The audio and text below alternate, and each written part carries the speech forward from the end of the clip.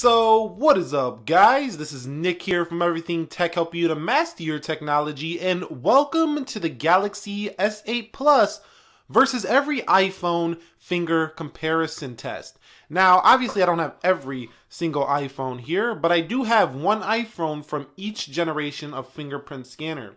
So here is an iPhone 5S, here is an iPhone 6, which came after, both utilize first gen Touch ID. Following that came the 6S series right here. This is the 6S Plus specifically, the first iPhone to introduce second generation Touch ID. Then Apple brought the iPhone SE, which kept the first generation Touch ID scanner. And of course, I do have the 7 Plus, which we already already compared to the Galaxy S8 Plus in a speed test, and it was quite surprising how well the 7 Plus did here. But for those of you out there who are going to be leaving Apple for the first time to try out Samsung's new beautiful Samsung Galaxy S8 or S8 Plus, in this video I want to help show you guys what kind of fingerprint speed you're going to get on the Galaxy S8 Plus. So before we get into the actual test of this fingerprint, the Galaxy S8 has been very controversial in terms of the placement of its fingerprint scanner here. Now, a lot of people say that the camera, it's very easy to touch the camera and accidentally rub your finger over it, making for a smudge, potentially distorting your pictures. But to me, this is just another media hype. Once you get used to it, muscle memory, you're gonna know right where that fingerprint scanner is every time and it works pretty flawlessly. It's a very good fingerprint scanner. It just takes a minute to get it registered up here on the right side. Now, if you're a left-hand user of the Samsung Galaxy phone, it's going to be a lot easier to reach this fingerprint scanner because it kind of rests right where your finger would be. Now, it doesn't work every time. I just had a mistap there for the uh, Galaxy S8 Plus.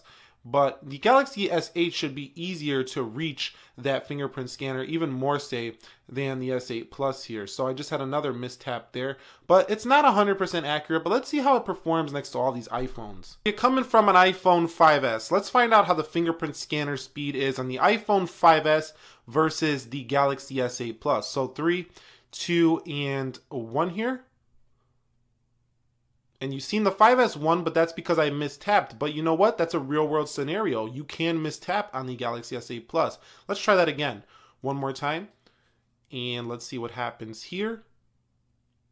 There you go. So the S8 Plus, if you do get your finger on there, it is definitely quicker than the iPhone 5S. The only reason the 5S won that first time was because I missed tapped the fingerprint scanner for the S8. So well ahead of the 5S in terms of speed on the fingerprint scanner. So, you know, this test is probably going to be the same for the iPhone 6 as it is Touch ID first gen. Let's just see how it performs anyway. And you could see way ahead of the iPhone 6 as well. So if you're coming from an iPhone 6 to the Galaxy S8 series, your fingerprint scanner increases a lot here for iPhone 6 versus Galaxy S8. And this would hold true, and you see I had a couple of mismatches there for the S8 Plus. So I do think Touch ID might still be one of the more reliable fingerprint scanners on the market. As you've seen right there, Galaxy S8 is not even registering it there. You've seen there was a little hiccup there. So sometimes the Galaxy S8 is off. So overall, the Galaxy S8 is probably a quicker fingerprint scanner, but Touch ID is a little bit more reliable in my experience. All right, you guys coming from an iPhone SE going up to an S8 Plus, or maybe you got an SE and you're picking up an S8 Plus as your Android phone on the side or your main Android phone and the SE you're gonna keep as a backup. Let's see how the fingerprint difference is on these phones. Once again, I missed it there on the S8 Plus. So you know what? I, I want to include this in the review. And the reason I want to keep this in here is because this shows how difficult it might be sometimes to reach that fingerprint scanner that you're going to be mistapping it. I mean, I know it would be a little bit more accurate if I would get it right every time, but the fact of the matter is, this is indicating a real world use. You can see I missed it two times there, and that's probably because of the placement. You have to reach your finger all the way up here across the screen. So like I say, if you're a left-hand user, the Galaxy S8 Plus is gonna be a better smartphone for the fingerprint scanner. But you've seen right there, it went in fast. And let's do this one more time for the SE and the 8 Plus.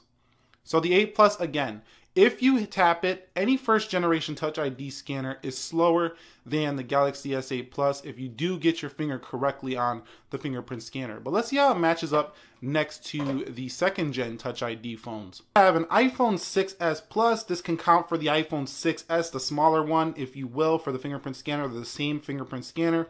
And let's see which one performs better in terms of this one. Now, this is second gen Touch ID versus Galaxy S8. And you can see S8 once again faster. So if you get your fingerprint correctly on the S8, it should be faster than the iPhone 6s Plus as well. Let's do this again. And you see the S8 Plus doesn't need a, you know, a physical press to get in. So with the iPhone 6s Plus, you can't just rest your finger on there. You actually have to physically press it to get the fingerprint scanner to open. Is it a big deal? Not really, but you can just rest your finger on the Galaxy S8 Plus, making it a faster fingerprint scanner. Let's go ahead and try now the iPhone 7 Plus here. And the iPhone 7 Plus again needs a little bit of a tap to get into the phone. You can see pretty fast there. But let's see what happens here. Boom, Galaxy S8 Plus. So the S8 Plus is faster than every single iPhone right now in terms of the fingerprint scanner. You've seen in this test it is faster, but you also seen in this test that the Galaxy S8 Plus could be not as reliable as the fingerprint scanner due to the fact of the reach. So you're really gonna have to train yourself to get the accurate press every time on the Galaxy S8 because sometimes it misses, like it just missed right there. So I do think Touch ID still reigns supreme as the more reliable fingerprint scanner that works consistently every time. You're gonna have a misstep here and there on the Galaxy S8 Plus, but there is a solution to that. Add the same finger twice, register the same finger twice, and you should have more accuracy on your Galaxy S8 series. But I hope this video helped you out to see how the difference is in the fingerprint scanner of the Galaxy S8 versus pretty much every iPhone you can buy right now. If you enjoyed this video, click the like button for me. Comment down below what you thought about this test, which one you thought is better. Do you not like the Galaxy S8 Plus? Do you want to see any videos on the Galaxy S8 Plus? I'd like to hear about that. Subscribe to the channel for more technology videos like this. Nick here helping to master your technology.